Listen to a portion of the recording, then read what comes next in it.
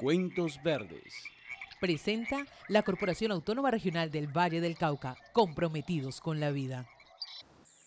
Una reserva natural de la sociedad civil es una iniciativa de conservación de la biodiversidad y los recursos naturales en predios de propiedad privada, escenario en el Valle del Cauca que cada vez toma más fuerza. En zona rural de Jamundí, los dueños de una finca tomaron la decisión de destinar varias hectáreas de su predio para proteger y restaurar los ecosistemas que están allí presentes. El beneficio que puede tener el propietario de un predio eh, en el cual se conserva el bosque es el rebaja de impuestos eh, municipales mediante el predial, eh, la, el ya mencionado tema del banco de oxígeno. Entonces, de una u otra forma, el conservar sí vale la pena, vale la pena eh, no meramente en el aspecto económico, sino en el aspecto ambiental, que es lo verdaderamente importante. La hacienda consta más o menos de unas 800 hectáreas y de la mano de la CBC queremos eh, proteger los bosques. Eh, mi papá en el año 62 llegó aquí a la zona y desde ese tiempo estamos protegiendo y conservando los bosques y los guaduales de la finca. La conservación de las tierras es un elemento importante en cualquier estrategia que busque el desarrollo sostenible de una región. Por tal motivo, para la CBC la participación y compromiso de los propietarios de áreas de reservas naturales es primordial. La Hacienda de los Álamos es importante porque eh, cumple un papel estratégico dentro de la cuenca de Río Jamundí. Es una cuenca que tiene cinco quebradas, linda en su margen derecha con el asentamiento subnormal de Chontaduro y en su margen izquierda eh, con la reserva de la sociedad civil de Miravalle y con el asentamiento subnormal La Fragua.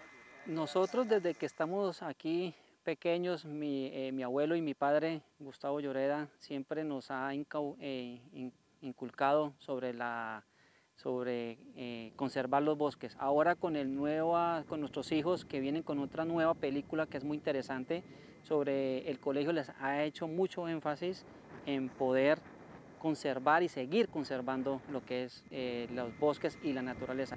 Un fuerte vínculo en la cual ellos ya saben que conservar el bosque es muy importante. A medida que los procesos de conservación se llevan a cabo, el compromiso por parte de los propietarios de la finca crece, pues se conservan bosques y siembran árboles y por ende se protege y conserva el agua, denotando la mejoría del ecosistema. La corporación eh, en compañía de los dueños del predio, recorrió el predio y determinó cuáles eran las zonas a aislar, las zonas más sensibles, teniendo en cuenta eh, la vecindad que tienen.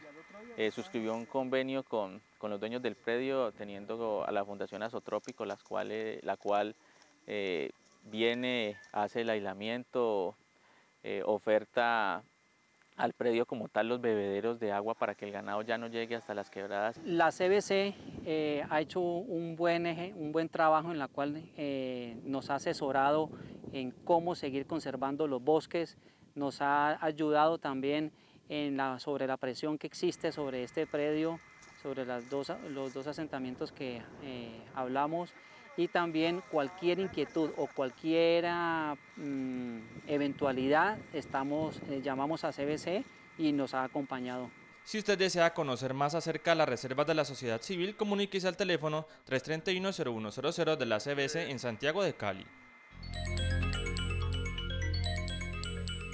Para el día de hoy se espera que en las regiones andina y pacífica en la mañana predomine el tiempo seco y en horas de la tarde y noche se presenten algunas lluvias de variada intensidad. En Cali se prevé tiempo seco en la mañana y lluvias ligeras al final de la tarde y en la noche. Habrá una temperatura máxima de 30 grados y una mínima de 22 grados centígrados. Los caudales del río Cauca presentaron una tendencia creciente en Puerto Mayarino, Juanchito y decreciente de Media Canoa a la Victoria de Nacaro con niveles medios para este mes. Hidroclimatología de la CBC que usted puede consultar a través de la página www.cbc.gov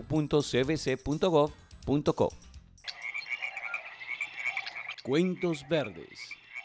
Presentó la Corporación Autónoma Regional del Valle del Cauca, comprometidos con la vida.